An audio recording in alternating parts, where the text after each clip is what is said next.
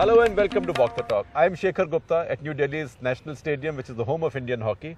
And my guest this week, well, at a time when we seem to be celebrating cricket victories of all kinds, my guest this week is somebody who represents an Indian team that did actually finish, unfortunately, at the bottom at the Olympics.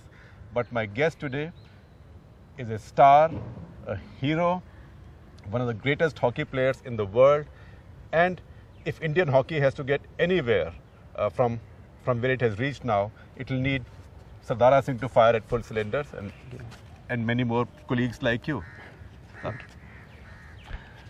देखिए सबसे पहले मैं thanks करूँगा अपनी teammates का और उसके बाद कोचिंग स्टाफ का क्योंकि पिछले टाइम से काफ़ी हमने हार्ड ट्रेनिंग की और उसके बाद लाइक जो लोगों की एक्सपेक्टेशंस थी वो बहुत ज़्यादा बढ़ गई थी पर अनफॉर्चुनेटली कि हम इस टूर्नामेंट में बेस्ट नहीं कर पाए तो काफ़ी दुख लग रहा है क्योंकि बहुत ज़्यादा हार्ड ट्रेनिंग की थी।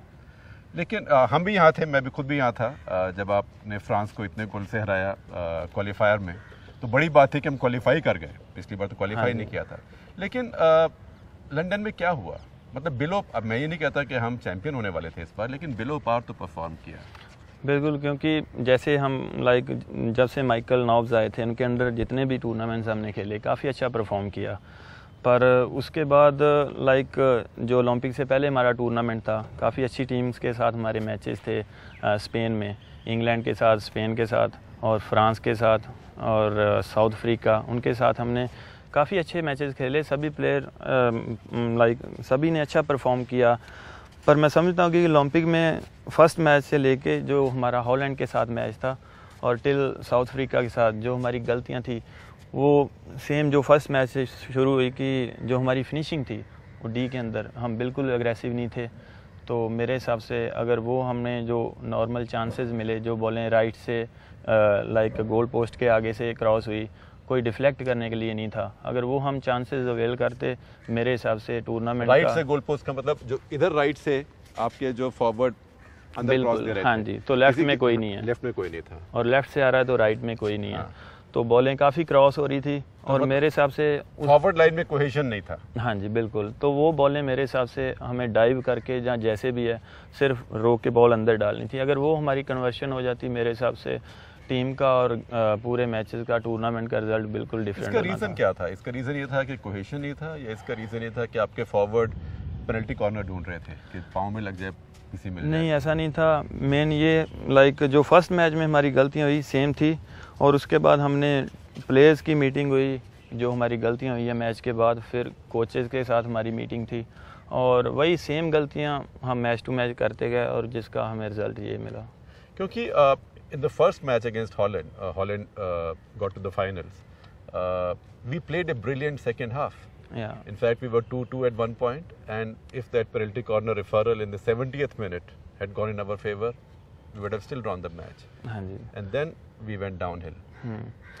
तो मेरे हिसाब से लाइक मैं समझता हूँ कि जो अ, संदीप के ऊपर और रघुनाथ के ऊपर काफ़ी उम्मीदें थी पर उन्होंने बेस्ट करने की ट्राई की पर मेरे हिसाब से हर एक मैच में हमें चार चार पाँच पाँच प्लेंटी कॉर्नर मिले और उसका हमें रिज़ल्ट नहीं मिला तो उन्होंने बेस्ट करने की ट्राई की पर अनलक्की की हमारे वो आप तो पुशर हैं पेनल्टी कॉर्नर के।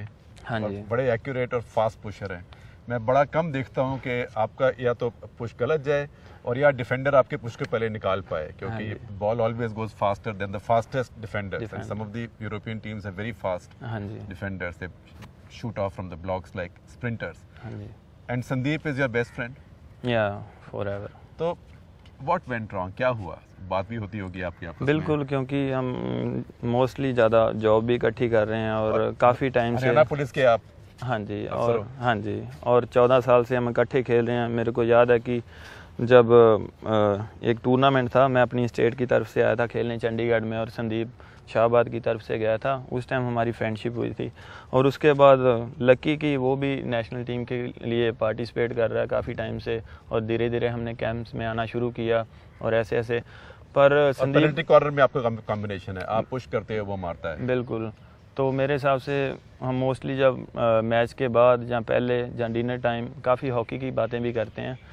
तो मेरे हिसाब से उसने काफ़ी मूवमेंट्स पे जैसे कॉमनवेल्थ गेम्स में एशियन गेम में वर्ल्ड कप में काफ़ी लाइक सिचुएशन जो ऐसी थी उस पर उसने गोल किए हैं और डिफ़िकल्ट मोमेंट्स में और उसने टीम को जताया और इंडिया के लिए बेस्ट किया पर मैं समझता हूँ कि जो लोगों की जैसे फाइनल में फ्रांस को उन्होंने पाँच गोल मारे हाँ। और हमें क्वालिफाई करवाया और पूरी टीम ने अच्छा परफॉर्म किया।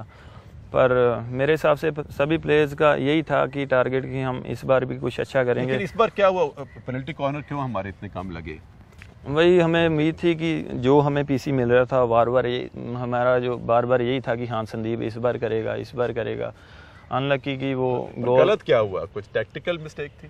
नहीं बिल्कुल नहीं।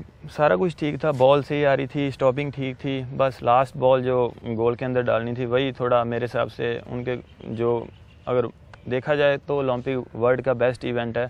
सभी बिल्कुल रेडी होके आते हैं उस टूर्नामेंट के लिए। रीड करते रीड करके आते हैं सभी प्लेयर्स को। तो मेरे हिसाब से संदीप को उन्होंने रीड किया होगा तो अच्छी पुशेज मारी संदीप ने कन्वर्ट करने की ट्राई की पर नहीं अनलकी कि वो हुआ better. Download NDTV's new app. Fully optimized for retina display. Full screen view. Faster response time. And Sudoku. NDTV's new iPad app. Download now.